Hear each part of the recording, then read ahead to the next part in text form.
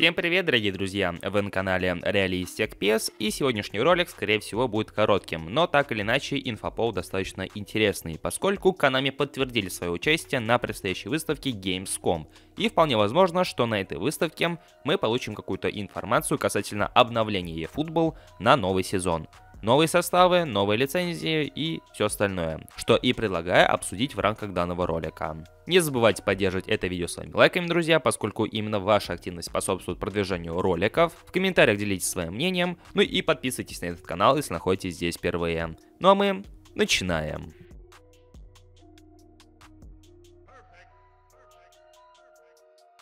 После всего коронакризиса у Gamescom достаточно тяжелое положение, и с каждым годом данная выставка теряет свою актуальность. Но тем не менее, спустя года два, по-моему, выставка наконец-таки возвращается в офлайн, и студии постепенно на нее подтягиваются. Конечно, далеко не все, но тем не менее список там достаточно интересный. В прошлом году, когда выставка все так же проходила в онлайне, Konami ее пропустили, хотя казалось бы идеальнейший момент, чтобы представить PES 2022. Однако они ее пропустили и как таковой информации не поделились. Но зато в этом году они, судя по всему, собираются принять в ней участие и о чем-то да расскажут, потому что просто так на выставку заявиться они, естественно, не могут. Как оно и принято, выставка проходит в конце августа, а именно в районе 20 чисел, и именно тогда, скорее всего, стоит ожидать какую-то информацию от Konami. Вся загвоздочка лишь в том, что к 20 числам августа в eFootball уже и так планируется множество всяких обновлений, изменений, нового контента, и вопрос, нужно ли будет что-то анонсировать и представлять на этой выставке, выставке большой вопрос. Разве что представить какие-нибудь режимы или информацию о них, которые планируются поздней осенью и вообще в 2023 году. Потому что если та же самая выставка будет проходить в районе 25 числа или даже после 25 числа, когда в 21 песке закрываются сервера, то это все не имеет смысла. О eFootball 2023, новом контенте, новом сезоне и закрытии серверов 21 части мы говорили вот в этом ролике, который выскочил в правом верхнем углу.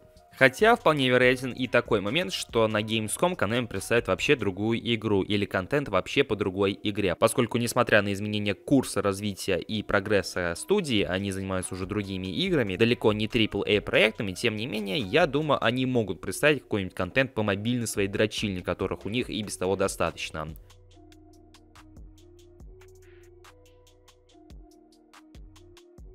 В любом случае, будем ждать любую информацию от Konami, и если появится что-то интересное, то мы, конечно же, сразу поделимся этой информацией в нашей группе ВКонтакте и в Телеграм-канале, ссылки на которые присутствуют в описании. Обязательно подписывайтесь. Ну а в комментариях под этим роликом я буду ждать ваше мнение по поводу всего услышанного. Ждете ли вы какую-нибудь информацию от Konami на Gamescom и какие у вас вообще ожидания от этой игровой выставки? Может вы ждете другую студию и ее представление? Отпишите в комментариях. Также не забывайте поддерживать это видео своими лайками. Ну и обязательно подписывайтесь на канал, если находитесь здесь впервые. У меня на сегодня все. Я всех благодарю за просмотр и желаю вам всем удачи. До скорых встреч, друзья.